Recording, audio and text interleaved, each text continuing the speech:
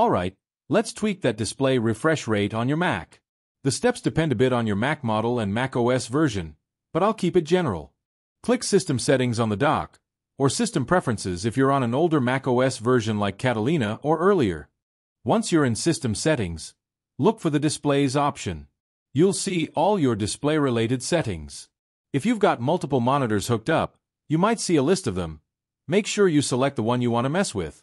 For this demonstration, I will set the built-in display. Below this screen, you will see the refresh rate section.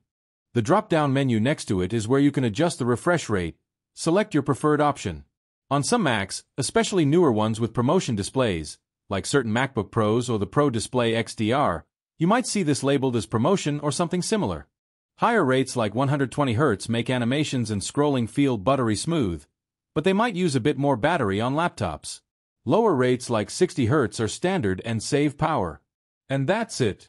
You've just tweaked your max refresh rate for a smoother display. I'll catch you in the next video. Thanks for watching.